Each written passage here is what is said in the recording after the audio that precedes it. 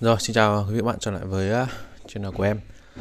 Uh, nhiều bác hỏi thì ờ, uh, Foranger XLSAT phiên bản số động một cầu uh, là một chiếc xe rất hot và gần như lúc nào cũng là top một doanh số tại thị trường Việt Nam. Uh, hiện nay thì uh, vẫn còn lác đác một vài xe XLS nhập khẩu và đa phần hiện nay bày bán trên thị trường là Ranger XLS phiên bản lắp ráp trong nước. Uh, tại thời điểm này uh, hai mẫu xe đang có, có mức mức ưu đãi khuyến mại uh, khá là khác nhau. Uh, với những đầu xe nhập khẩu chúng ta đa phần là bán nguyên giá và tặng kèm thêm một chút phụ kiện nhé 650 triệu và chỉ còn màu đen hoặc màu ghi vàng. À, với phiên bản lắp ráp chúng ta có nhiều lựa chọn màu sắc hơn. À, có màu nâu vàng ghi vàng mới này. Tuy nhiên chúng ta không có màu đen.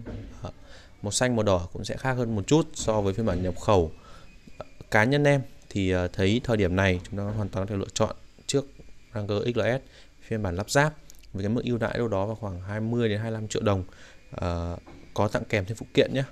Thì à, khi mà chúng ta lăn bánh à, với phiên bản nhập khẩu hay lắp ráp lại tiết kiệm đâu đó vào khoảng à, suy soát 30 triệu đồng rồi. Đó.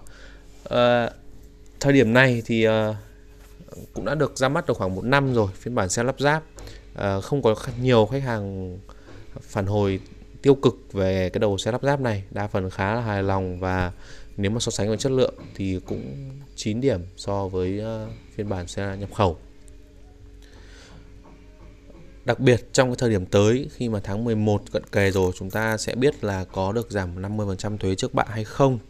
Và theo kinh nghiệm của em thì nếu như chúng ta được miễn thuế trước bạ 50% thì chắc chắn cái chương trình khuyến mại dành cho xe lắp ráp như là 20 25 triệu đồng hiện nay à, đã co sẽ tiếp tục co lên.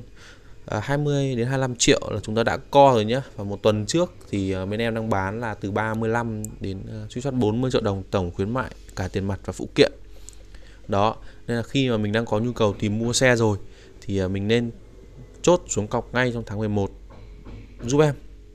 Theo em đó là thời điểm rất là thích hợp uh, lý do thứ hai là vì uh, tháng 12 thì uh, đa phần những hãng xe lắp ráp trong nước sẽ không sản xuất nhiều để tránh tình trạng tồn động xe tại tháng 1 năm 2022 nhé. Chúng ta sẽ sang nhảy Vin sang năm sản xuất mới.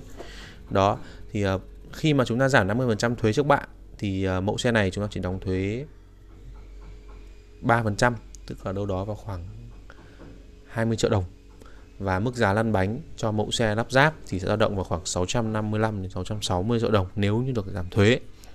Và nhập khẩu thì chắc chắn rồi, chúng ta vẫn phải lăn bánh, đâu đó phải suy soát 700 triệu.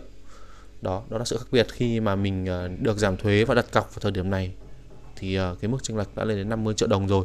Trong khi chất lượng và công năng sử dụng thì không quá khác biệt so với ờ, xe nhập khẩu. Quý anh chị đang có nhu cầu tìm mua xe Foranger XLSAT cũ hoặc mới.